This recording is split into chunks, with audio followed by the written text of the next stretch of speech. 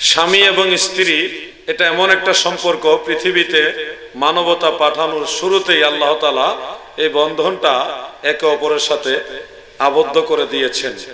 আমাদের সমস্ত মানুষের আদি পিতা সৈয়দুনা হজরতে আদম আলাইহিস সালাম, তিনি জান্নাতে ছিলেন, একাকী ছিলেন। একাকিত্ব তিনার কাছে একটু অসহনীয় পর্যায়ে যখন পরিলক্ষিত হলো তখন আদম আলাইহিসাল্লাম সহি বুখারির মধ্যে উল্লেখ, সৈয়দুনা আদম আলাইহিসাল্লামের বাম পাজর থেকে, বাম পাজরের নরম বাঁকা হাড্ডি থেকে আল্লাহ তাআলা তিনার কুদরতে মা হাওয়া আলাইহাসাল্লামকে সৃষ্টি করে আদমের বাম পাশে রেখে দিলেন, বসালেন। সুন্দরী, রূপসী, তন্নি এক নারী হজরতে আদম আলাইহিসাল্লাম দেখে তিনাকে স্পর্শ করতে চাইলেন। মাওয়াহেবুল্লাহ দুনিয়ার মধ্যে এবং অন্য কয়েকটা কিতাবের মধ্যে পেয়েছি। আল্লাহ তালা তখন আদম নবীকে বাধা দিলেন, বললেন, এত তাড়াহুড়া করো না। কিছুটা প্রক্রিয়া দিন সিস্টেম রয়েছে, এই সিস্টেমগুলির পরে তুমি হাওয়াকে স্পর্শ করবে। জিবরিল আলাইহিস সালামের মাধ্যমে আদম এবং হাওয়ার বিবাহের কাজ আল্লাহ তালা সম্পন্ন করালেন, সুবহানাল্লাহ। সেখানে মহরানা হিসেবে আমার দয়াল নবীজির দুরুদ শরীফকে নির্ধারণ করা হয়েছে। নবীজির দুরুদ শরীফের মাধ্যমে আদম হওয়ার বিবাহ হয়। এটা ছিল মোহরানা।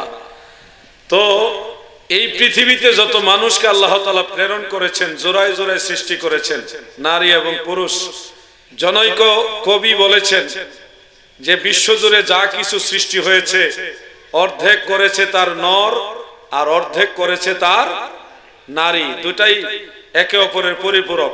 আমার পীর কেবলাজান হুজুর বলতেন, বাবা, স্ত্রীর সাথে ভালো ব্যবহার করবেন, সে আপনার সুখেরও সাথী, দুঃখেরও সাথী।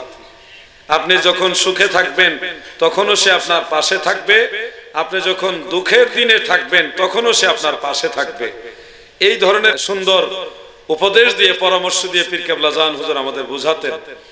প্রিয় বন্ধুরা, আমার যুবক ভাইয়েরা স্বামী স্ত্রীর সম্পর্কটা কীরকম হবে? আল্লাহ তালা পবিত্র কোরআনে সুন্দর করে বলেছেন, হুন্না লিবাসুল্লাকুম ও আন্তুম লিবাসুল্লাহুন্না তোমরা তাদের লেবাস, তারাও তোমাদের লেবাস। তোমরা তাদের লেবাস, তারাও তোমাদের লেবাস। স্বামী তার স্ত্রীর জন্য পোশাকের মতো এবং স্ত্রীও তার স্বামীর জন্য পোশাকের মতো। স্বামী চাইলে তার স্ত্রীকে পোশাকের মতো ব্যবহার করবে, স্ত্রীও চাইলে তার স্বামীকে ওরকম আদর সোহাগ করবে। একে অপরের একটা সম্পূরক, সম্প্রীতিমূলক, একটা সৌহার্দ্যপূর্ণ সম্পর্ক হলো স্বামী এবং স্ত্রীর সম্পর্ক। মারহাবা বলে। প্রিয় বন্ধুরা আমার, এই বন্ধন যদি আমার আল্লাহ না করতেন স্বামী এবং স্ত্রীর এই বন্ধন যদি আমার আল্লাহ না করতেন, গোটা দুনিয়ায় মানুষের কোনো পরিচয় থাকতো না কার ছেলেকে, কার বাবাকে, এই পরিচয় দুনিয়াতে থাকতো না। মানুষ আর পশুর মাঝে কোনো ব্যবধান থাকতো না। আপনারা নিশ্চয় জানেন, যেহেতু ছোট ভাইরা এখানে আছে, অনেক কথাই আমি পরিষ্কার বলতে পারব না। আপনারা বুঝে নেবেন, আর কিছু কথা যদি উচ্চারণ হয়েও যায় ছোট ভাইরা, তোমরা শিক্ষার জন্য নিও। কারণ আগামী দিনে তোমরা এই দেশ, এই সমাজে জাতি পরিচালনা করবে। তোমাদেরকে এগুলি বুঝতে হবে। না বুঝার কিছুই নাই। লজ্জা করে একেবারে অবুজ থাকলে হবে না। আমাদের কিছু মাসালা। আমরা যখন ক্লাসে ফেকা পড়তাম, তখন আমাদের উস্তাদ যিনি মুফতি হুজুর, তিনি আমাদেরকে এমন ভাবে মাসালা বলতেন। অনেক সময় শুনতে লজ্জা লাগতো, কিন্তু হুজুর আমাদের বলতেন, লজ্জা করলে তো হবে না। আজকে আমি তোমাদের কিতাব পড়াচ্ছি, বাস্তবতার সাথে কোরআন, হাদিস মিলিয়ে বুঝাচ্ছি। তোমরাও তো একদিন এই এই বিষয়গুলি নিজেরা বুঝবে এবং মানুষকে বুঝাতে হবে। না হলে মানুষ এই মাসালাগুলি, এই বিষয়গুলি বুঝবে কোথা থেকে? এই জন্যে আমি চেষ্টা করব প্রাঞ্জল ভাষায় শালীনতার ভিতরে কথাগুলি বলার। এরপরে যদি দুই একটা শব্দ এরকম এসে যায়, যেগুলি অসুন্দর, শুনতে দৃষ্টিকটু, কিন্তু বাস্তব, এই কথাগুলি আপনারা পজিটিভলি নিবেন। আশা করি পজিটিভলি নিবেন ইনশাআল্লাহ। কি বলেন, নিবেন তো? যেহেতু বিষয়বস্তু আছে, বিষয়বস্তুর সাথে সামঞ্জস্য রেখে আমাকে কথা বলতে হবে। গভীরভাবে খেয়াল করবেন।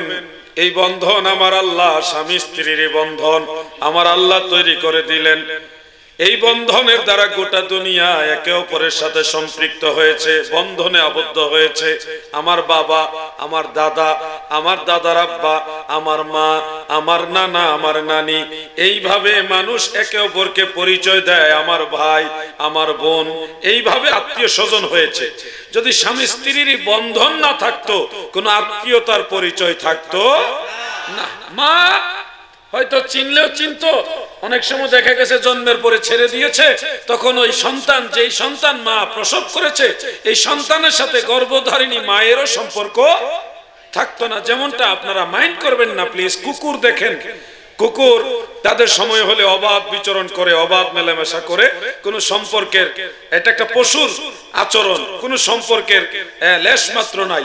যার যেখানে যেভাবে বিচরণ করতেছে, মেলামেশা করতেছে। ছয়টা, সাতটা, আটটা, দশটা কম বেশি বাচ্চা জন্ম দিতেছে। এক বছর পরে ওই বাচ্চা তার মাকে চিনে কিনা এটাও সন্দেহ দেখা দেয়। ওই এক বছর, এমনকি জন্মের পরে তার বাবাকে কুকুরের ছানা কার জন্য এই পৃথিবীতে এসেছে সে এটাও জানে না। এই জন্য বৈবাহিক সম্পর্কটা স্বামী স্ত্রীর সম্পর্কটা হলো গোটা দুনিয়াকে একটা বন্ধনে আবদ্ধ করেছে। একটা পরিচয় দিয়েছে যে আমি অমুকের ছেলে অমুক আমার ছেলে অমুক আমার ভাই অমুক আমার বোন। এই পরিচয় বন্ধন দিয়েছে স্বামী স্ত্রীর সম্পর্ক। কথা ঠিক না বেঠিক আমরা অনেক প্রেক্ষাপট অনেক সময় নিউজে অনলাইন অফলাইনে দেখি যে কিছু মানুষ লিভ টুগেদার নামক একটা সম্পর্ক তৈরি করতে চায় যেটা নাস্তিক মনা যারা তাদের একটা চক্রান্ত। লিভ টুগেদার একটা ছেলে একটা মেয়েকে পছন্দ করে, বিবাহ ছাড়া যেখানে খুশি এখানে মেলামেশা করবে মানে কুকুরের স্বভাব। যারা এই ধরনের সম্পর্ক প্রতিষ্ঠা করতে চায়, এরা মানুষ হতে পারে না, মানুষ রূপী কুকুর, মানুষ রূপী জানোয়ারেরা, ঠিক না বেঠে? মানবতার শত্রু তারা, মানবতার শত্রু তারা, কারণ মানবতা টিকবে না। মানুষের স্বভাব আর পশু পশু পাখির স্বভাবের মাঝে একেবারে একটা বাহ্যিকতা বিলীন হয়ে যাবে। বন্ধুরা আমার, কিছু প্রশ্ন স্বামী স্ত্রীর সম্পর্কটা, এই বিষয়টা গুরুত্ব বোঝানোর জন্য আমি কথাগুলি টানছি। অনেক সময় এরকম প্রশ্ন আসে যে একজন পুরুষ চারজন মহিলাকে বিবাহ করে, একজন মহিলা কেন চারজন পুরুষকে বিবাহ করতে পারবে না? ইসলামের উপরে অ্যাটাক করে প্রশ্নগুলি করা হয়। এই মানুষগুলি বুঝে না, আপনারা দুধ চিনেন, ধরেন গরুর দুধ। এই গরুর দুধ নিলেন এক লিটার। এই এক লিটার দুধ এরকম চারটা কাপে রাখলেন। এটার মধ্যেও রাখলেন গরুর দুধ। ওটার মধ্যেও রাখলেন গরুর দুধ। এটার মধ্যেও রাখলেন গরুর দুধ। ওটার মধ্যে রাখলেন গরুর দুধ। এই চারটা প্লেটে কিসের দুধ? বলেন না, কিসের দুধ? গরুর দুধ। এখন চারটা প্লেটের বা চারটা কাপের যেখানেই আপনি দুধ রাখেন, আপনি নিশ্চিত জানতেছেন এটা গরুর দুধ। এটা কিসের দুধ? এখন আপনি খেয়াল করেন, এখানে একটু গরুর দুধ দিলেন আর একটা ছাগলের আর একটু ছাগলের দুধ দিলেন, বা অন্য দুধও দিলেন। আবার সব কয়টা কাপের মধ্যে গরুর দুধও দিলেন অন্য অন্য দুধও দিলেন। বলেন তো কোন কাপে কতটুকু গরুর দুধ আছে, কতটুকু ছাগলের দুধ আছে? বা একটা প্লেটও যদি গরুর দুধ আর ছাগলের দুধ একসাথে মিক্স করে রাখেন, কতটুকু গরুর দুধ আর কতটুকু ছাগলের দুধ, এটা পার্থক্য করা সম্ভব?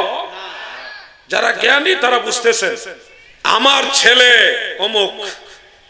এটা যদি আপনি দাবি করেন, তাহলে আপনি হান্ড্রেড পার্সেন্ট এটা নিশ্চয়তা দিতে হবে। আপনার স্ত্রী আপনি ছাড়া অন্য কোনো পুরুষের সাথে মিলিত হয়। যদি অন্য পুরুষের সাথে মিলিত হয়, তখন আপনার সন্তান এই পৃথিবীতে জন্ম হলো? না, ওই পুরুষের সন্তান জন্ম হলো, এটার গ্যারান্টি আপনি দিতে পারবেন? এই জন্য স্বামী স্ত্রীর এই বৈধ সম্পর্কের দরকার আছে না নাই? মানবতা, মানুষের পরিচয়, এটা টিকায় রাখার জন্য এই বন্ধন, এই সম্পর্ক আপনাকে টিকায় রাখতে হবে। লিভ টুগেদার নামক এই সম্পর্ক যারা তৈরি করতে চায়, এরা শুধু ইসলামের শত্রু না, এরা মানুষের মানবতার শত্রু। কথা ঠিক না বেঠে? এই জন্য আল্লাহ তালা কোরআনুল করিমের মধ্যে বলেছেন, কিছু মানুষ আছে এরা হলো চতুষ্পদ জানোয়ারের মতো, বালহুম আদল, বরং এর চাইতে আরও নিকৃষ্ট। মানুষকে আল্লাহ তালা বলেছেন পশু। মানুষের মাঝে এমন কিছু লোক আছে যারা পশু এবং পশুর চাইতেও জঘন্য। ওই যে নাস্তিক যারা যারা মা বাবার পরিচয় ঠিক রাখতে চায় না, তারা কৌশলে এরকম একটা পদ্ধতি চায়। কয়, একটা সন্তান পরিচয় দেওয়ার জন্য মায়ের পরিচয় যথেষ্ট বাবার পরিচয় লাগে না। এটা হলো আরেকটা চক্রান্ত। দাদু, আপনার যদি বাবার পরিচয় না থাকে, তাহলে আপনার আরেকটা কুকুরের মাঝে কি বা পার্থক্য রইল? বাবার পরিচয় লাগবে কি না কথা বলেন না কেন, লাগবে কি না বাবার পরিচয় ছাড়া মানুষের পরিচয় হয় না। দাদু ভাই, আমার মানুষের মাঝে পশু আছে, এটা আমরা হয়তো বুঝি না। ব্রাহ্মণবাড়িয়া জেলা একটা থানা আছে, আখাউড়া থানা। আখাউড়া থানায় রেলওয়ে জংশন আছে, বিশাল বড় রেলওয়ে স্টেশন। সেই স্টেশনের একটা ঘটনা আমি নির্ভরযোগ্য কয়েকজন মানুষের কাছ থেকে শুনেছি, বাকিটা আল্লাহ আলাম। ঘটনাটা হলো এরকম, একজন পাগল বস্তা পরে লজ্জাস্থানটা ঢেকে, মোটামুটি হাঁটুটা আর লজ্জাস্থানটা ঢেকে সারাদিন ঘুরে আসা, শরীরে কোনো আর কাপড় নাই। বস্তা পরে, অর্ধলঙ্গ অবস্থায় সারা স্টেশনে ঘোরাফেরা করে। একদিন হঠাৎ করে এই পাগল এক কাপড়ের দোকানে, স্টেশনের পাশেই একটা কাপড়ের দোকান, কিছু দোকান আছে, এর মধ্যে একটা দোকানে গিয়ে বলে, ভাই, আমারে তাড়াতাড়ি একটা লুঙ্গি দাও। একটা? লুঙ্গি দাও? দোকানদার আশ্চর্য হয়ে গেছে, এই পাগল, সারা বছর ল্যাংটা হয়ে চলে। ল্যাংটা বলতে ওই ওটুকু কাপড় পরে মানে বস্তা পরে ঘুরে আর কি। সারা বছর সে ল্যাং, চলে, ল্যাংটা চলে, আজকে সে লুঙ্গি পড়তে আসলো কেন? দোকানদার তিরস্কার করেই বলল, তুমি লুঙ্গি নিতে আসছো কেন? সারা সারা বছর ল্যাংটা হয়ে থাকো উলঙ্গ থাকো। কয়ে, বোকা। মানুষের সামনে মানুষ উলঙ্গ থাকতে পারে, লজ্জা লাগে না? আমার লজ্জা আছে না? পাগল এই কথা বলতেছে। আমি ল্যাংটা থাকি, ঠিক আছে, আমি তো মানুষের সামনে ল্যাংটা থাকতে পারি না। আজকে মানুষ আসছে স্টেশনে। স্টেশনে আজকে মানুষ আসছে, আমি সেই মানুষের সামনে এইভাবে উলঙ্গ যাব, এটা আমার লজ্জা লাগে। পাগলের এই কথা শুনে দোকানদার আরও হাসতে লাগে বলে কি, হাজার হাজার মানুষ স্টেশনে, সে লুঙ্গি পরার প্রয়োজন অনুভব করে না? আজকে তোমার কোন মানুষ আসলো যে তোমার আজকে লুঙ্গি পরার প্রয়োজন অনুভব হলো? সে বলল, আজকে মানুষ আসছে। এই জন্য আমি লুঙ্গি পড়তে তুমি লুঙ্গি দিবা কেন বলো? নাহলে আমি অন্য দোকানে যাব। তখন দোকানদার একটু মেহরবানি করল, একটা লুঙ্গি তাকে ফ্রি দিয়ে দিল। নাও, এটা আমি তোমাকে দিয়ে দিলাম। সেই লুঙ্গি পরে পাগল বড় আদবের সাথে স্টেশনে অবস্থান করছে। এখন আর আওলা জওলা হাঁটে না, যেদিকে মঞ্চের দিকে যায় না এক্সট্রা কোনো কথাও কয় না, চুপচাপ আদবের সাথে স্টেশনে অবস্থান করছে। অনেকক্ষণ পরে আবার লুঙ্গি খুইলা পাগলে ওই দোকানদারে কই নে তোর লুঙ্গি, আমার আর লুঙ্গি লাগবে না এখন আর মানুষ নাই। এখন আর মানুষ নয়, বস্তা পরে এখন ছালা পরে সে ঘুরতেছে। দোকানদার জিজ্ঞাসা করে, পাগলা রে, কত মানুষ স্টেশনে? তুমি কারও সামনে লঙ্গি পরো না, কোনোদিন লঙ্গি আইসা আমার কাছে চাও না। আজকে লঙ্গি নিলা, মানুষ আসছে বলে লঙ্গি পরলা। আবার লঙ্গি খুলে আমাকে দিয়ে গেলা, ঘটনা কি আমাকে বুঝায় বলো? এতগুলি মানুষ, তুমি মানুষ মনে করো না, আজকে কোন মানুষ আসলো যাকে তুমি মানুষ মনে করো? পাগলাই কয়, তুই দেখবি নি, এই মানুষগুলি মানুষ না কি তুমি দেখবা কিনা? তখন দোকানদার বলল, আমি দেখব, আমাকে দেখাও। সেখানে পাগলাই তার এই বগল তোলা দিয়ে বলল, তুমি এদিকে তাকাও। ওই পাগলের হাতের নিচে দোকানদার যখন তাকাইলো তাকায় দেখে স্টেশনে একটাও মানুষ নাই। কোনটা কুকুরের সুরত, কোনটা শুকুরের সুরত, কোনটা বিড়ালের সুরত, কোনটা মানে জন্তু জানোয়ারের সুরত।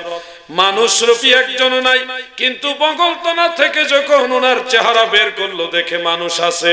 পাগলার বগলতলা দিয়ে তাকাইলে মানুষ দেখে না। পশু পাখি দেখা যায়, জন্তু জানোয়ার দেখা যায়। ওই পাগলা বলল, শুনো রে, এরা সুরতে সবাই মানুষ, স্বভাবে কেউ মানুষ না, এরা পশুর চাইতেও জঘন্য। এটা কিন্তু পাগলার বানানো কথা না। ওই যে উলাইকা কালা নাম এরা হলো চতুষ্পদ জানোয়ারের মতো বরং এর চাইতো আরও জঘন্য কোরআনের কথা। মানুষ আর মানুষ নাই যেই মানুষ পশুর মতো আচরণ করে এদেরকে মানুষ বলে, না গো, এরা সুরতটা হলো মানুষের, কিন্তু স্বভাব চরিত্র হলো পশুর। যারা স্বামী স্ত্রীর সম্পর্ক এটাকে অ্যাভয়েড করে অ্যাভয়েড করে, শুধু মায়ের পরিচয় দিয়ে সমাজে চলতে চায়, বাবার পরিচয় চায় না। লিভ টুগেদার নামক অবৈধ সম্পর্ক হোটেল, রেস্তোরাঁয় আর রিসোর্টে প্রতিষ্ঠা করতে চায়। এরা মানুষ হতে পারে না, এরা জন্তু জানোয়ারের চাইতো আরও নিকৃষ্ট। দাদু ভাই আমার, গভীরভাবে খেয়াল করবেন, আমার আল্লাহ বলেছেন, হুন্না লিবাসুল্লাকুম তোমার স্ত্রী, তোমার কাছে লেবাস এবং তুমিও আন্তুম লিবাসুল্লাহুন্না তোমরাও তোমাদের স্ত্রীদের কাছে লেবাস মানে পোশাকের মতো। দাদুরে এই সুন্দর সম্পর্ক আমার আল্লাহ দিয়েছে, আমার দয়াল নবীজি দিয়েছে। এই সম্পর্ক এমন এক মধুর সম্পর্ক আল্লাহর হাবিব। আমার দয়াল নবীজের সাথ করেন, স্বামী যদি তার স্ত্রীর সাথে হাসি মুখে কথা বলে, স্ত্রী যদি তার স্বামীর সাথে হাসি মুখে মুস্কি হাসি দিয়ে কথা বলে, আল্লাহর নবী বলেন, টাকা পয়সা, ধন, দৌলত, দান, সদকা করলে যে সওয়াব, স্বামী স্ত্রী পরস্পর পরস্পরের সাথে হাসি মুখে কথা বললে ওই সমান সওয়াব। বাড়িতে গেছেন, স্ত্রীর সাথে একটু হাসি মুখে কথা বলবেন। এতে আপনার ওই টাকা দান করলে, গরিব মিসকিনকে টাকা দান করলে যে স্বভাব, স্বামী স্ত্রীর সাথে সুন্দর ভাষায় কথা বলবে, স্ত্রী তার স্বামীর সাথে একটু মুস্কি হাসি দিয়ে কথা বলবে, ওই সমান স্বভাব। কত সুন্দর ধর্ম ইসলাম। আপনারা বলুন তো, আপনি যদি ঘরে প্রবেশ করেন, আপনার স্ত্রী যদি আপনাকে দেখে একটা মুস্কি হাসি দেয়, আপনার মনের মধ্যে রাগ গুসা থাকবে? বলেন না, থাকবে নাকি? লজ্জার কিছু না, এগুলি আপনাদের বুঝতে হবে, বাস্তব জীবনে এগুলি প্রয়োগ করতে হবে। তখন সংসারের মধ্যে রহমত পয়দা হবে, শান্তি আসবে ছেলে মেয়েরা আদর্শবান হবে, নিজেও শান্তিতে থাকবেন দুনিয়ায় এবং আখেরাতেও শান্তিতে থাকবেন। এটা আল্লাহ রসুল বলেছেন। একেবারে সিহাসিত্তার হাদিস, আবু দাউদ শরীফ, তিরমিজি শরীফের মধ্যে উল্লেখ নবীজি বলেন, কোন স্বামীর পক্ষে যদি স্ত্রী বলে যে আমার স্বামী ভালো, তো সে যদি ইমানদার হয়, তাহলে নিঃসন্দেহে সে জান্নাতি। আপনার আমার স্ত্রী আমাকে আপনাকে ভালো বলবে, এরকম গ্যারান্টি দেওয়ার লোক খুব কম। গ্যারান্টি দেওয়ার লোক আছেন না আপনারা? আছে আছে, খুব কম খুব কম। দাদু, স্বামী যদি বলে আমার স্ত্রী খুব ভালো, আল্লাহর নবী বলেন, ওই স্ত্রী ইমানদার হলে নিঃসন্দেহে সেও জান্নাতে যাবে। পরস্পর পরস্পরের সাথে সুসম্পর্ক রাখলে এই সমান মহান মর্যাদা আল্লাহ তালা আপনাকে দিয়েছে তো স্ত্রীকে দিয়েছে হাসি মুখে কথা বললে স্বভাব হয় এই ধর্মের নাম ইসলাম يا أيها الذين آمنوا اتقوا الله اتقوا الله وقولوا قولا سديدا আমার আল্লাহ বলেন ইমানদার বান্দা বান্দিরা গো।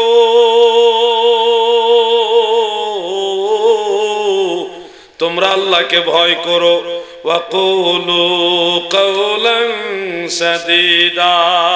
সত্য সুন্দর কথাগুলি মানুষের সাথে বলো। এই জন্য ইসলাম এমন ধর্ম, বাইরের মানুষের সাথে কথা বলবেন, এটা তো পরের কথা। ঘরের মানুষের মাঝে সবচেয়ে আপন মানুষ হলো স্ত্রী, মা বাবার পরে। মা বাবার পরে যদি আপনার স্ত্রীর সাথে আপনি হাসি মুখে কথা বলবেন তাতেও আপনাকে দান করা সৎকা করা সমান সব। এরকম ফজিলত অন্য কোনো ধর্মে আমরা শুনিনি। ইসলাম ধর্মে তো সুন্দর ধর্ম। যেই ধর্মে হাসি দিলে স্বভাব, জায়গা মতো কাঁদলেও স্বভাব। সুবহানাল্লাহ বলেন। প্রিয় ভাই, বন্ধুরা আমার, যুবক ভাইয়েরা, যারা বিবাহ করনি, তোমরা শোনো, ঠিক আছে? তোমাদের ভবিষ্যতে কাজে লাগবে। আর যারা বিবাহ শাদী করেছেন, আপনারা মনোযোগ দিয়ে কথাগুলি শুনেন। আপনাদের এখন এগুলি জানার দরকার। ইসলাম এত সুমহান ধর্ম। যেই ধর্মে স্বামী, স্ত্রী হাসি মুখে কথা বললে স্বভাব। দাদু গো, স্ত্রী যদি আপনার পক্ষে বলে, আল্লাহ আমার স্বামী ভালো, আপনি জান্নাতি। গ্যারান্টি গ্যারান্টি দিয়েছে আল্লাহ রসুল, গ্যারান্টি। এই গ্যারান্টিটা রক্ষা করা খুব কঠিন। কারণ মহিলারা একটা ক্ষেত্রে তারা খুব দুর্বল। আল্লাহর হাবি বলেন দাখাল তু ফিল জান্না ওয়া রাইতু আকসারু আহলুহাল ফুকারা মেহরাজ রজনীতে আমি জান্নাতে প্রবেশ করে দেখি বেশিরভাগ জান্নাতি মানুষ হলো গরিব মানুষ, দরিদ্র যারা, তারা বেশিরভাগ জান্নাতি মানে গরিব মানুষ জান্নাতে বেশি যাবে। সুবহানাল্লাহ বলো। সাহিবনে সাহিবনে হাব্বান সাহিবনে খুজাইমা সহ অনেকগুলি কিতাবে সহি সনদে হাদিসটা আছে। আল্লাহর হাবিব, আমাদের দয়াল নবীজি এখান এটুকু বলেই ক্ষান্ত হয়ে যাননি, আরও বলেছেন দাখাল তো ফিন্নার আমি মেরাজ রজনীতে জাহান নামেও প্রবেশ করলাম।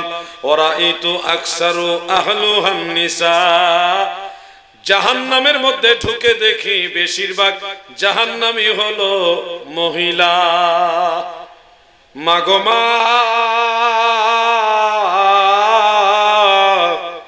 এই হাদিস থেকে আপনার একটু সতর্ক হন। একটু সতর্ক হন, কেন জানেননি? আপনাদের তিনটা অভ্যাসের কথা আল্লাহর হাবিব বলেছেন। যে তিনটা অভ্যাসের কারণে আপনারা বেশিরভাগ জাহান্নামী হয়ে যাবেন। এর মধ্যে একটা অভ্যাসের কথা আমি বলি, দয়াল নবীজি বলেন, নারীরা মহিলাদের একটা ভয়ঙ্কর অভ্যাস হলো, বারো, চোদ্দ বছর ২০ বছর, পঞ্চাশ বছরও যদি স্বামীর সাথে সংসার করে, মৃত্যুর আগের দিনে যদি সামান্য বিষয় নিয়ে একটু মন কালাকালি হয় তারা মুহূর্তের মধ্যে বলে ফেলে, তোমার ঘরে সুখ পাইলাম না। এই যে একটা অকৃতজ্ঞতা, এই অকৃতজ্ঞতাটার কারণে আল্লাহর হাবিব বলেছে নারীরা জাহান্নামী হয়ে যাবে। কৃতজ্ঞতা স্বীকার করা কি কঠিন জিনিস? আর অকৃতজ্ঞ হওয়াটাও কত কঠিন জিনিস? আপনার কি মনে হয়? যেই মেয়েটা আঠারো, পনেরো, বিশ বছর মা বাবার কাছে ছিল। সেই মেয়েটা মৃত্যুর আগ পর্যন্ত একটা পুরুষ, একটা স্বামীর কাছে থাকে। মৃত্যুর আগ পর্যন্ত একজন স্বামী চেষ্টা করে তার স্ত্রীকে সার্বিক দিকে তাকে খুশি রাখার। এই যে যতটুকুই সম্ভব হয় প্রত্যেক স্বামী তার স্ত্রীকে সন্তুষ্ট রাখার, ভরণ পোষণের যাবতীয় ব্যয় ভার বহন করার, সন্তান লালন পালন করা ওই মেয়েকে, ওই মহিলাটাকে মৃত্যুর আগ পর্যন্ত খাওয়া দাওয়া, কাপড় চোর পর সার্বিক বহন ব্যয় ভার বহন করে সন্তানাদি লালন পালন করার সমস্ত দায়িত্ব সে মাথায় নিয়ে পরিশ্রম করে এই এই পরিবারের দায়িত্ব পালন করে থাকে। যখন ওই মহিলাটা বা নারী এত পরিশ্রম করার পরও তার স্বামীর অকৃতজ্ঞতা প্রকাশ করে যে তোমার ঘরে সুখ পাই নাই, শান্তি পাইলাম না, এই সময় আল্লাহ এত বেজার হয়, এত আল্লাহ এত কষ্ট পায়, এই বেজারের কারণে এই নারীদেরকে আল্লাহ জাহান নামে পর্যন্ত দিয়ে দিবে। দাদু, আমি জানি না মায়েরা, বোনেরা, এই কথাটা কতটুকু? গ্রহণ করবে, কিন্তু এটা আল্লাহ রসুল বলে গেছেন। স্বামীর অকৃতজ্ঞ হবেন না। স্বামী যতটুকু সম্ভব হয়, সে আপনার ভরণ পোষণ দিচ্ছে। আপনি যদি কোনো অপূর্ণতা থাকে, সেক্ষেত্রে আপনি তাকে আরও উৎসাহ দেন, সুপরামর্শ দেন। আপনি একজন উত্তম সঙ্গী, পৃথিবীর সর্বোত্তম সঙ্গী হলেন আপনি। আপনি যদি তাকে উৎসাহ দেন, আরও সুপরামর্শ দেন। সেক্ষেত্রে দুইজন মিলে মিশে আপনাদের দৈনন্দিন জীবনের প্রত্যেকটা কাজ আপনারা সফলভাবে সম্পন্ন করতে সক্ষম হবেন। কিন্তু ওটা পরামর্শ দিলেন না, উৎসাহ দিলেন না। শুধু পদে পদে, হারে হারে, সময় সময় শুধু স্বামীর অকৃতজ্ঞতা প্রকাশ করেন। হ্যাঁ এটা দিলেন না কেন? এটা আনলা না কেন? এরকম করলে তখন স্বামীর মনে কষ্ট লাগে। লাগে কিনা কথা বলেন না কেন? লাগে কিনা এটাকে বলা হয় অকৃতজ্ঞতা। তবে আপনাদেরকেও একটা বিষয় বলতে আমার হবে, সেটা হলো, রান্না করছে বারো বছর এই মহিলাটা আপনারা রান্না করে খাওয়াইতেছে।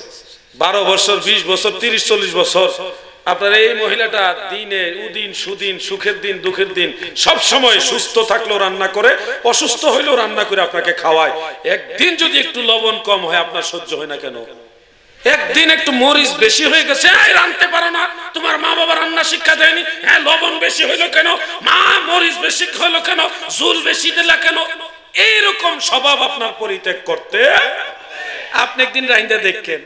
ভাই রে ভাই, স্বামী স্ত্রী সম্পর্কটা আল্লাহ এমন ভাবে বেঁধে দিয়েছেন, আল্লাহ রসুল সাল্লাহ আমাদেরকে শিক্ষা দিয়েছেন নবীজির স্ত্রী আম্মাজান আয়েশা রাদিয়াল্লাহু তাআলা আনহা বর্ণনা করেন। আম্মাজান আয়েশা যখন রান্না বান্না করতেন, স্বয়ং রাহমাতুল্লিল আলামিন আম্মাজান আয়েশার কাছে বসে ওই রান্নার যে তরি তরকারি, এগুলি কাটার ক্ষেত্রে বিভিন্ন কাজে সহযোগিতা করতেন। সুবহানাল্লাহ।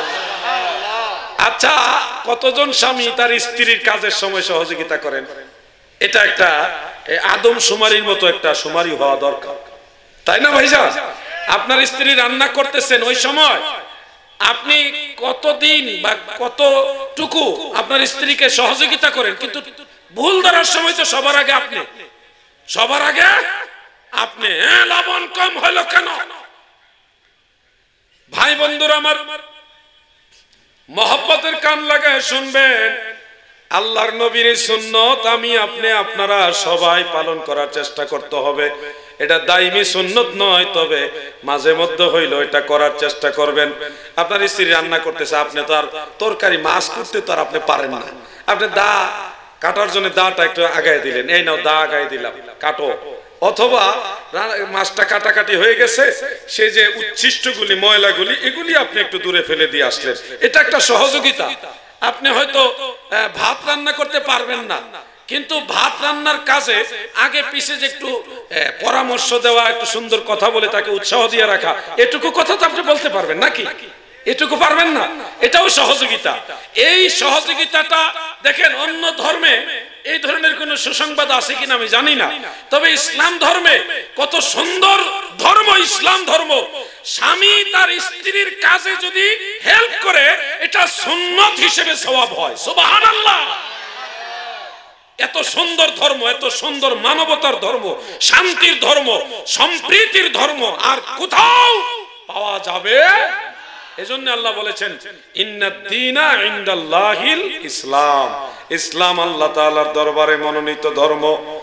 দাদু ভাই আমার, এই জামানায় স্বামী স্ত্রীর সাথে এমন গন্ডগোল লাগে অনেক সময়, সামান্য বিষয়। ধরেন একটু আজকে তর্ক বিতর্ক হইছেই এমন পাওয়াটা খুব দুষ্কর যে স্বামী স্ত্রীর মধ্যে একটু তর্ক বিতর্ক হয় না।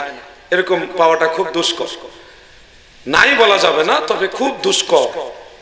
একটু তর্ক বিতর্ক হয়েছে মাশাল্লাহ আমাদের দেশে কিছু ভাইরাস মার্কা লোক আছে। এরা করোনা ভাইরাসের চাইতে আরও ভয়ঙ্কর। এরা একটু ইয়া করে বাসে থেকে "এই, এত বড় বেদব তোর বউ হয়ে গেছে তোর স্ত্রী? মামলা লাগাই দেয় কত বউ পাওয়া যাইব দিছে লাগায় মামলা। আর নাইলে স্ত্রী ঝগড়া করছে গেছে বাড়িতে। বা আছে না কিছু? দুষ্ট বান্ধবী তিনজন মহিলা এক জায়গায় বসলে তিনজন না দুইজন মহিলা যদি ওয়াজ মাহবিল এসে বসে তারা পুরা ওয়াজ শুনছে গ্যারান্টি দেওয়া যাবে। তিনজন মহিলা এক জায়গায় বসলে, ও, সই গো, সই, বান্ধবী গো, আমার জামাই এই করছে, আমার স্বামী এই করছে, এই যে ইতিহাস শুরু করছে, এই ইতিহাসে গেছে গা, ওয়াজের অর্ধেক, আর অর্ধেকটা কি কইছে হুজুর ভালো করে বুঝছে না। মা বোনেরা, যারা আজকে ওয়াজ নসিহত শুনতে আসছেন, আপনারা একটু গ্যাপ দিয়ে দিয়ে বসেন, একসাথে বসেন না, একটু গ্যাপ দিয়ে দিয়ে বসেন। তাহলে ভালো হবে। শয়তান আপনাদের অসুয়াশা দিতে পারবে না। আল্লাহ যেন মনোযোগ দিয়ে ওয়াজ, নসিহত শোনার তৌফিক দে বলে না আমি কিছু দুষ্ট নারী আছে, কিছু দুষ্ট পুরুষও আছে, যারা স্বামী স্ত্রী সম্পর্কের মধ্যে ব্যাঘাত ঘটায়, দূরত্ব তৈরি করে। সামান্য তর্ক বিতর্ক, এটার মধ্যে লাগাইছে নারী নির্যাতনের মামলা। হুদাই মামলা দিয়ে দিছে, আমার এই করছে এই করছে। আসলে এত কিছু হয়েছে না, একটু কথা কাটাকাটি হয়েছে। এরকম হয় না ঘটনা? বেশিরভাগ মামলাই, নারী নির্যাতনের বেশিরভাগ মামলাই হলো এগুলো। সামান্য ঝগড়া হয়েছে একটা ছেলে নিয়ে, মেয়ে নিয়ে বা একটা শ্বশুর বাড়ি, বাবার বাড়ি নিয়ে, ওইটাকে নারী নির্যাতনের মামলা, যৌতুকের মামলা লাগাইছে। মহামান্য রাষ্ট্রপতি মহোদয়কে আমি ধন্যবাদ জানাই। উনি একটা লেকচারে বলেছিলেন, বাংলাদেশে নারী নির্যাতনের মামলা যেমন আছে, পাশাপাশি পুরুষ নির্যাতনের মামলা একটা আইন করা উচিত। কারণ নারী নির্যাতনের চাইতে পুরুষ নির্যাতন কম না বেশি। কথা কয় না। কথা কয় না কে? এখন যদি কই বেশি, তাইলে বাড়ি দিলে তো আবার ধরবো, তুমি বেশি কইলা কে? এই হলো মুসিবত। নারী নির্যাতনের তুলনায় পুরুষ নির্যাতন মহামান্য রাষ্ট্রপতি মহোদয় যেহেতু পুরুষ নির্যাতনের শিকারের কথা পরোক্ষভাবে বললেন, সেহেতু আর আপনি আর আমি এই পুরুষ নির্যাতন নামক ভয়ঙ্কর আইনের বাইরে গেছি না। আমরাও সবাই ওই আইনের ভিতরে পড়ছি। কিছু কিছু বিষয় এখনও অপূর্ণ রয়ে গেছে। যেমন একটা আইন হয়েছে ইফটিজিং এর আইন। ভালো আইন। এই আইনটা দরকার ছিল আরও আগে। ইসলাম সাড়ে চোদ্দশো বছর আগে ইফটিজিং যেন না করা হয়, এই বিধান শিক্ষা দিয়ে গেছেন। নারীরা রাস্তায় চলবে, কাজে যাবে, তাদের চাহিদা অনুযায়ী শরীয়ত মেনটেন করে পর্দার সাথে তারা চলাফেরা করবে। প্রয়োজনে তারা কোথাও যাবে, চাকরি করবে, যদি ওরকম নিরাপত্তা এবং পর্দার ব্যবস্থা থাকে। সেই নারীদেরকে, মেয়েদেরকে রাস্তার ছেলেরা, পুরুষরা যদি একটু তিরস্কার করে শীষ মারে, বিরক্ত করে। এই ধরনের কাজ ইসলাম সাড়ে চোদ্দশো বছর আগে বলেছে এটা। পাপের কাজ। এটা কিসের কাজ? পাপের কাজ। চোখের জিনা, তাকাইলে চোখের জিনা বলেছে। এই জন্য সেটা মাননীয় প্রধানমন্ত্রীকে ধন্যবাদ জানাই যে আইনটা করেছেন ইফটিজিং এর আইন। তবে পাশাপাশি আরেকটা আইন করা উচিত, এটা আমরা অনুরোধ করছি। বাংলাদেশের জাতীয় মহান সংসদে প্রস্তাবনা পেশ করে একেবারে গেজেট পাসের মাধ্যমে আইন পাশ করা হোক যে নারীরা বেপরদায় চলাফেরা করতে পারবে। একদিকে নারীদের পর্দা, আরেকদিকে পুরুষের ইফটিজিং এই দুইটা বিষয় যদি আইন করা হয়, সেক্ষেত্রে নারীরাও সতর্কভাবে চলবে, ছেলেরা পুরুষরাও মা বোনদের ডিস্টার্ব কম করবে বা করবে না। ঠিক না বে ঠিক? এখন একতরফা যদি আপনি দেন, ইফটিজিং এর আইন করে দিলেন, ছেলেরা মেয়েদের ডিস্টার্ব করতে পারবে না। কিন্তু মেয়েদের কাপড় চুপড়ের ব্যাপারে যদি কোনো ধরাবান্ধা নিয়ম না করে দেন, যেমনে খুশি এমনি কাপড় পরে যদি রাস্তায় চলে, আমি বললাম না টাইট ফিটিং কাপড়, এমন কিছু কাপড় যেগুলি দেখলে আমাদের যারা আমরা সভ্য সমাজে বসবাস করি, আমাদের লজ্জা লাগে। সেই মেয়েদের লজ্জা লাগে না। এদের লজ্জা যে কি হয়ে গেল জানি না। সেই নারীদের দিকে ভুলেও যদি নজর পড়ে যায়, আমাদের লজ্জা লাগে। নারীদের ইজ্জত কোথায় চলে গেল? এরকম ফাহেসা কাপড় চোপড় পরে, এমন কাপড় পরা, যেটা পরার না পরা একই অবস্থা। নাউজুবিল্লাহ জালেক এই ধরনের কাপড় পরে রাস্তায় যখন চলে, আরে দাদু আল্লাহ মানুষ সৃষ্টি করেছে, পুরুষও সৃষ্টি করেছে আল্লাহ, নারীও সৃষ্টি করেছে আল্লাহ। এটা সৃষ্টিগত একটা স্বভাব। একজন নারীর কাছে একজন পুরুষ দুর্বল, একজন পুরুষের কাছে একজন নারী দুর্বল। এটা মানুষের সৃষ্টিগত দুর্বলতা, স্বভাব। এটা চেঞ্জ করা যাবে না। এটা চেঞ্জ করা যাবে না। মানে স্বভাবগত দুর্বলতা। আদম নবী পারছেন আর আপনি কি? দাদু, যতটুকু সম্ভব সেভ করে চলা। নারীরা পর্দার সাথে চলবে, পুরুষরা তাকুয়ার সাথে চলবে। এই দুইটা বিষয় ম্যাচিং করে ম্যানেজ করে চলতে হবে। এখন আপনি নারীদের পর্দার ব্যাপারে কোন ধরনের ধরাবান্ধা না করে, আইন না করে, তাদেরকে স্বাধীনভাবে যেমনি মনে যেমনি চলার আইন করে দিয়ে পুরুষকে যদি ইফটিজিং এর আইন করে দেন, এটা হলো এরকম যে সুটকি চিনেন আপনারা? চট্টগ্রামের মানুষে সবচেয়ে বেশি সুটকি খায়। আমিও খাই। শুটকি যদি বিড়ালের সামনে রেখে দিয়ে বলেন এই বিড়াল শুটকি খাবে না শুটকি খাওয়া বেদাত। বিড়াল এই বেদাতের ফতোয়া মানবে? এই যে বিষয়গুলো খেয়াল করবেন অবশ্যই আমরা সাধুবাদ জানাই, কারণ এটা সাড়ে চোদ্দশো বছরের আগের বাংলাদেশ সরকারের মাননীয় প্রধানমন্ত্রী এটা বাস্তবায়নে রূপ দিয়েছেন। কিন্তু পাশাপাশি মা বোনদের পর্দার ব্যাপারেও একটু আইন করা দরকার আসেনি। দেখছেন, পিছনে তারা কথা কয় নাকি দরকার আসেনি স্বামী এবং স্ত্রী, দুইজন যদি একজন আরেকজনের সুখের দুঃখের সাথে একজন আরেকজনের সাথে শেয়ারিং করে, তখন ওই সংসারের মধ্যে শান্তি ফিরে আসে। তবে মনে রাখবেন, স্ত্রী মানে দাসী না, কৃত দাস না। স্ত্রী মানে আপনার জীবন সঙ্গিনী। আমাদের দেশে আর সৌদি আরবে মানে নারীদের অবস্থান অনেক ব্যবধান। আমাদের শেখ নুরুল ইসলাম ফারুকি রহমতুল্লাহ একটা ঘটনা বলছিল। এক সৌদিয়ান, সে এক বাঙালির সাথে কি নিয়ে যেন তর্কে লাগছে। বাঙালি হলো মানে থাকে, চাকরি করে, আর সৌদিয়ান হলো সে ওই দেশের নাগরিক। তাদের দুইজনের মধ্যে ঝগড়া হয়েছে, তো বাঙালি এমন বদমেজাজি হাসিল, পায়ের থেকে জুতা খুইলা ডাইরেক্ট সৌদিয়ান রে বাইরান শুরু করছে। বাইরা এই যে বাইরান বাইরাইতেছে আর সৌদিয়ান, সে কোনো ইতস্ত বোধ করছে না লজ্জা বোধ করছে না, সে হাসতেছে। জুতার বাড়ি খাইয়া মানুষ হাসে। এটা একটা আশ্চর্য ঘটনা না? আল্লামা ফারুকি রহমতুল্লাহ ঘটনাটা বলছেন। তো ওই বাঙালি যে জুতা দিয়ে বাইরেইতেছে, সে এবং আশেপাশে দু একজন জিজ্ঞাসা করে "এ ভাই, দুনিয়ার মানুষের জুতা দিয়ে বাইরেলে সবাই লজ্জা বোধ করে? হ্যাঁ অনেক সময় কান্দে, আপনি হাসেন কেন? কয়টা হাসি এটা একটা স্বাভাবিক বিষয়। কেন স্বাভাবিক বিষয়? কয়, আমাদের দেশে সৌদিয়ান আমার স্ত্রী আছে, কতজন জানে কইছে খেয়াল নাই, যে এতজন স্ত্রী যার বাড়িতে যাই প্রায়ই আমার স্ত্রী আমাকে জুতা দিয়ে বাইরে এই জন্য রেগুলার যেহেতু এটা আমি খাই এই জন্য এটা আমার মাইন্ডে লাগে না। এটা আল্লামা ফারুকি রহমতুল্লাহ বলেছেন। ঘটনাটা আমি দেখিনি। উনি বলেছেন, উনি তো আরব কান্ট্রিতে অ্যাভেলেবেল ঘুরতেন, নিশ্চয়ই উনি দেখেছেন, উনি নিজে বয়ান করেছেন ঘটনাটা। দাদু ভাই আমার, ওই দেশের তুলনায় আমাদের বাংলাদেশের মা বোনেরা কত ভালো। বর্তমান প্রেক্ষাপটের কথা বলছি। আপনার স্ত্রী আপনার সেবা করতেছে, চিন্তা করবেন আপনার সেবা করতেছে, খাবার রান্না করে দিতেছে, সবাইকে খাওয়াচ্ছে। আবার ছেলে মেয়েকে গোসল, এগুলি করে কাপড় চোপড় পরাচ্ছেন। বাচ্চাদেরকে স্পেশাল আবার খাওয়াই দিতে হয়, সেটাও আপনার স্ত্রী পালন করছে। আপনারও খাওয়ায়, আপনার মা বাবারও খাওয়ায়, আপনার বাচ্চাদেরকেও খাওয়ায়। বাচ্চাদের গোসল করায় প্রস্রাব পায়খানা পরিষ্কার করে দেয়। আত্মীয় স্বজন আসলেও রান্না করে আপনার স্ত্রী খাওয়ায়, আপনার কাপড় চোপড় ধুইয়া দেয় আপনার স্ত্রী, আপনার বাচ্চার কাপড় চোপড় ধয়, আপনার মা বাবার কাপড় চোপড়ও ধয়, আত্মীয় স্বজন আসলে মাঝে মধ্যে তাদের কাপড়ও ধয়। ধয় কিনা?